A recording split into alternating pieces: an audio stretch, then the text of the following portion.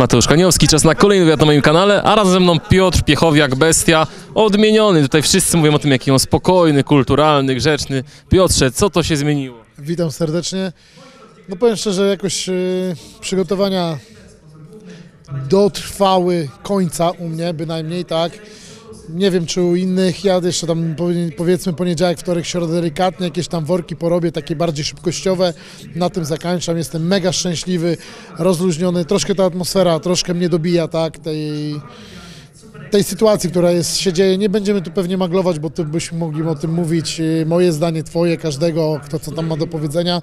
Stało się nie za ciekawie i myślę, że tutaj też między innymi to tutaj ma też taką górę. Utrudnia ci to treningi? Nie utrudnia mi kompletnie żadnych treningów, robię to, Jedzenie, żeby lodówkę ci codziennie nową dowozili? Yy, Ja mam, mogę powiedzieć Ci zapasy, ja mam dużo sponsorów, tak, czyli generalnie dostaję indyki yy, z Bomadeku, dostaję kurczaki, dodatkowo dostaję z whisky dyczar, steki, z, no prowiant mam, yy, można powiedzieć, dostarczony. I przeważnie jak biorę coś, to biorę raz na miesiąc, tak, przeważnie. Biorę kilkadziesiąt steków, czy tam 30-40 kg yy, indyka czy kurczaka, mrożę to, porcjuję to, tak, i w tym momencie moim zdaniem to jest takie dobre, że tak jak teraz taka sytuacja nastała, no to w tym momencie ja coś mam. Nie muszę latać po sklepach, tak jak widzę, lodówki są puste. Moim zdaniem w tym momencie jedyną rzeczą, którą kupuję, to są warzywa, owoce, dla dziecka chleb czy tam bułki, no i, yy, i to by było na tyle. Wyposażony lepiej niż nie jedna masaria. Bestia. Dokładnie, dokładnie. Niedługo będzie sprzedawał te wszystkie produkty. W każdym razie, Piotrze, ja wiem, jak e, tutaj Marta Linkiewicz próbuje nam powiedzieć, że chce odejść, ale musisz jeszcze poczekać na wywiadzik, chwilkę, super. W każdym razie, ja wiem, jak cię lekko wyprowadzić z równowagi, ponieważ widziałem film dwa dni temu w internecie na twój temat i ty już pewnie wiesz, o co chodzi. Nie wiem o co chodzi. Patryk 2703. No ten kretyn, no powiem szczerze, zostawiam to bez komentarza. E, No co mam powiedzieć, no człowiek jest po prostu upierdliwy, czepia się osób, które coś osiągnęły i coś osiągają. Miał swoją szansę, której nie wykorzystał, już jej więcej nie dostanie. No właśnie, ja nie znam się aż tak na kulturystyce, ale lekko się zagłębiłem w problem. O co właściwie chodzi w tym konflikcie? Y, On ma konflikt do każdego kulturysty. Do mnie, miał, do mnie ma na tą chwilę, y, do Radka Słodkiewicza, do innych kulturystów, którzy gdzieś mają jakieś osiągnięcia. O? Y, o nic. Na przykład do Radka Słodkiewicza tam było, że w gazecie, którymś tam gdzieś tam wyciągnął, czy tam ją zdobył, że Radek Słodkiewicz na HMB zrobił 15 czy 20 kg masy w ciągu tygodnia, czy tam dwóch, czy 10 dni, już teraz nie pamiętam dokładnie, jest to możliwe.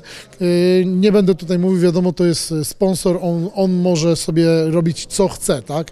Czyli on by napisał, że ja mogę mieć 50 kg w ciągu tygodnia i też nikomu do tego, bo jeżeli takie coś jest, to jest. Ja powiem szczerze, ja po zawodach, a to było widać, że Radek był na tym zdjęciu, akurat bo tak mam już to w głowie, yy, miał zajebistą formę, czyli teoretycznie był po zawodach.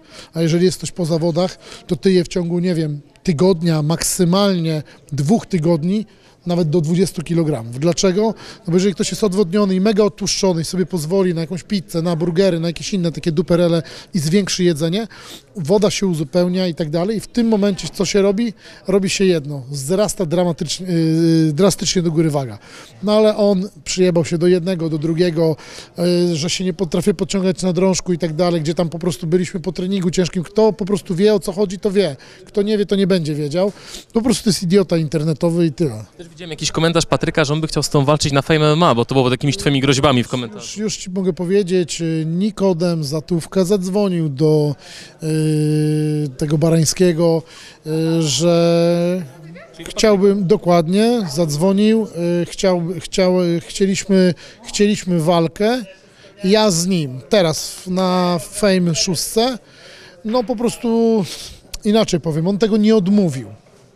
On tego nie odmówił, on po prostu dał taką kwotę zaporową, że po prostu pojebało mu się troszkę w głowie. Mieszka w Anglii, liczy pewnie w funtach, ale, Dokładnie przedstawił to w funtach, dokładnie. ale on tam się strasznie z ciebie nabija w tym filmiku, że nie znasz suplementów, że jesteś w stanie zapewnić tylko dwa. Dokładnie, dokładnie to akurat widziałem. Yy, mamy generalnie suplementów około 10 czy 12, nie pamiętam co wy, wy, wymieniałem, a bez sensu miałem każdą tabletkę podnosić, bo nie jestem w stanie yy, też yy, twierdzić. Wiem, że to są witaminy, wiem, że to jest witamina C, B kompleks. Jeżeli bym się pomylił, to zaraz by mi wytknął, że pomyliłem się, bo to jest nie to, a to jest co innego, bo pewnie by wszystkie puszki, które używam, otwierał i sprawdzał, która jest witamina od czego. No taki to jest typ, tak? Przypierdala się do byle czego, dlatego generalnie jego temat mnie kompletnie nie interesuje. To on się śmiał z tego wymieniania, a ja ciebie zapytam coś innego, bo ty chcesz zmienić Marcina Najmana w parterze. Tak, prawda? Nie jest to generalnie prawdą, bo też y, mamy opanowaną w miarę stójkę, są kopnięcia różne też i tak dalej, także to nie jest powiedziane, że będę cały czas y, chodził za nim, żeby go złapać, żeby obalić w parter. Nie, mam silne cepy, mamy silne ciosy i tak dalej, mam silne kopnięcia, trenerzy mówią, że mamy kilka dobrych akcji, więc na pewno nie będę tutaj y, próbował wchodzić w nogi, że będę go ganiał po ringu, żeby wejść mu w nogi. Takiego czegoś kompletnie nie ma i nie będzie. No to się słuchaj okaże za tydzień, bo przy twoich warunkach fizycznych się spodziewam tego, ale ja chciałem zapytać, jakie znasz dźwignie, tak ogólnie, techniki parterowe? Yy, dźwignie Kimura, yy, gilotyna, yy, balacha. Generalnie te, te takie, które są bardziej... jeszcze trochę, bo Patryk będzie mówił potem, że walnąłeś Yy, no i dobrze, trzy ci wystarczą. Jakąś taką najbardziej... Wiem, że yy, ciebie bardzo, bardzo ci się podoba. Obalenie, można powiedzieć, zapaśnicze. Yy, czekaj, już ci mówię, jak, Tak, bo rzucał bestia przy nas Nikodemem Zatowką 20 razy. Yy, już ci mówię, czekaj, czekaj, czekaj. Yy, to nie jest to, co, powinnie, co powinniśmy, co, co, co, co chciałeś, ale to było obalenie, bo obalenie, ale ty chciałeś, żebym zrobił yy, jak? Yy, Suplesa. Suplesa, przepraszam, tak, suplesa. Dokładnie. Na suplesa to muszę troszkę jeszcze się po, po, po, powyginać i popracować, ale, ale, ale myślę, że te trzy wystarczą, które, które, które umiem. Nie irytuje cię to, że Najman poświęcił więcej czasu Kasiowi niż tobie na tej konferencji? Nie, bo tu widzę taka spina wyszła moim zdaniem bez sensu, drą, takiego dr- drążenie, drążenie tematu. O, Pacyfistyczna bestia nam się znalazła, słuchajcie. nie, moim zdaniem to jest bzdet, taka nawet walka moim zdaniem to jest moim zdaniem bzdet i tyle, tak? Moim zdaniem walka to jest MMA, to jest MMA, nie jakiś tam boks i to jest moje zdanie. Czyli powinien się bić FMA. No dokładnie, no to jest fame MMA, tak? No to, to co, no to każdy by wychodził sobie w czym by chciał? No nie, no. A przewrotne pytanie, z kim, za kim byś był w tym pojedynku Najman kontra Casio? Powiem szczerze, nie, musiałbym to przeanalizować. Na tą chwilę 50... Nie, nie kto uważasz, kto by wygrał, tylko kogo bardziej lubisz. Nie mam tutaj osoby, którą bardziej lubię. Kompletnie. Daję 50 na 50. Nie, werdykt by nie interesował mnie totalnie. Dlatego nie gadamy o ich walce, gadamy o waszej walce. Mówisz, że nie będziesz ganiał, ale jakoś sobie nie wyobrażam bestię latającego i wymieniającego ciosy z Najmanem. Bo podobno, podobno jest, e, mam słabą kondycję, więc nie będę ganiał za nim. A mi się wydaje, że masz niezłą kondycję. Zobaczymy. Jak na kulturystę, to coś w tym musi być. Coś musi być, no, zgubiłem trochę tych kilogramów, nie pompuję się. Mówię a propos tego, co widziałem oczywiście, chociaż nie wiem, czy powinno to zdradzać. No tam no, ostatnio Marcin y, do mnie mówił, akurat jak się widzieliśmy na konferencji tej, y, na, dokładnie mówił, że y, słyszał, że mam bardzo dobrą kondycję. I to nie od, nie od jakiegoś tam laika, tylko od osoby zaufanej, czyli gdzieś tam musieli szperować. No już nie mówię, że od ciebie, bo widziałeś, tak? Tylko, że nie widziałeś generalnie całego jakby treningu, tak? To, że rzucałem 20 razy Nikodemem, co ważył 20 kg, rozumiem, to widziałeś. Przepraszam, 120, no to, to okej, ale No, wiadomo, zupełnie co innego będzie w walce, ale masz duży plus. Marcin Najman jest obyty z arenami, walczył wielokrotnie. Ty nie walczyłeś nigdy w oktagonie, więc za ciebie to będzie chyba nawet troszeczkę łatwiejsze walczyć bez publiki. myślę, że tak, dokładnie. Tym bardziej, że tutaj to miało być w Częstochowie, a to jest jego miasto. Wiadomo, że na pewno dużo jego znajomych, przyjaciół i tak dalej zjawiłoby się na gali. Moi znajomi też by przyjechali, ale nie byłoby takie grono jak, jak u niego, tak? No ale wyszło jak wyszło. Ja po prostu zadowolony jestem z tej całej sytuacji, że to jest tak jak jest. Oby się to odbyło jak najszybciej. Wtedy będą jakieś zasłużone wakacje. No, gdzie? W domu? W domu, nawet w domu z dzieckiem wolę pojechać na ryby niż cały czas mieć tą taką świadomkę, że to jest za tyle, za tyle dni. Po prostu jest temat zamknięty, poświęcam się w 100% rodzinie, nie ma już treningów, odpoczynek, typowy chill out. Jak odpoczywa kulturysta? Chodzi mi o to, że i tak chyba musisz trenować, prawda?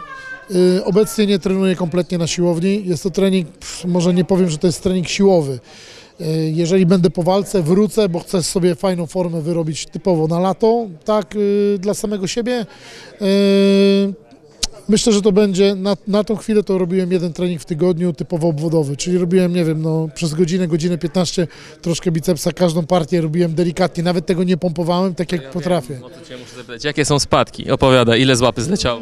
Wiesz co, z łapy nie wiem ile zleciało, no pff, może nie mierzyłem, nie mierzę kompletnie. Miałem tam z 50, może 1, 52 cm w bicepsie, teraz może mam z 47, 8, może 49 nawet, ale kula jest.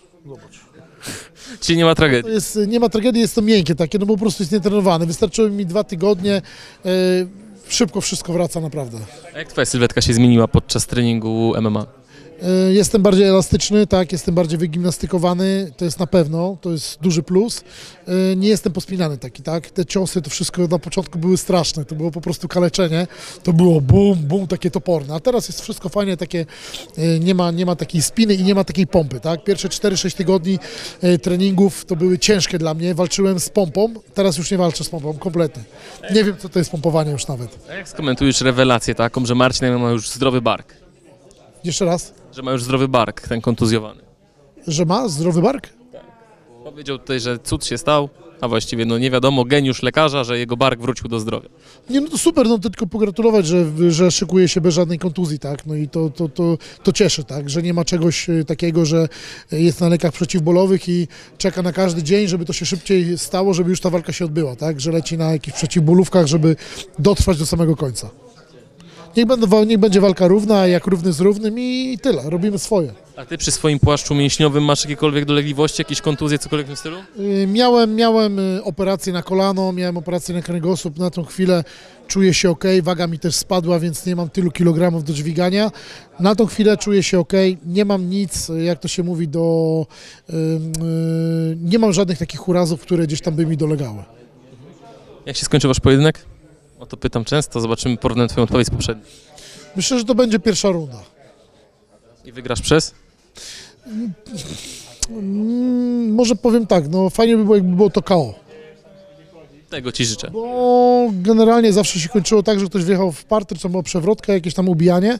Chciałbym, żeby to było KO, żeby poczuł ten jeden mój cios, który mam taki wytrenowany, mocny. I Jaki? je- jeżeli, jeżeli jakiś sierp wiedzie, to jest KO od razu. Tego ci życzę. Dziękuję bardzo za wywiad. Dziękuję bardzo.